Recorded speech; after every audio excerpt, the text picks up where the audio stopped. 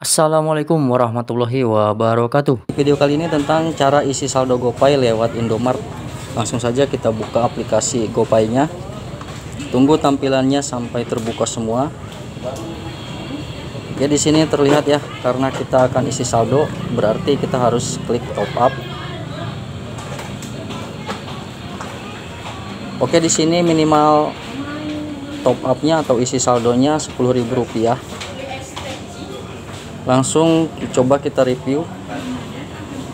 Yang harus dibayar adalah 11.500 e, biaya adminnya sekitar 1.500 rupiah. Langsung kita klik tanda panah di sini.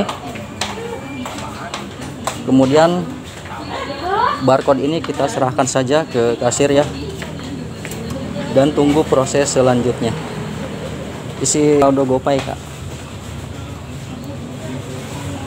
Kita siapkan uangnya nominal yang akan kita top upkan ke aplikasi GoPay kita. Yes. kita tunggu sudah di scan kita tunggu struknya.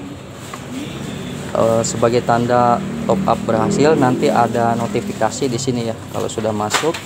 Kita, iya betul iya. Uh, oke sudah scan kita tunggu struknya saja. Oke di sini ada notifikasi ya. Sudah masuk saldonya.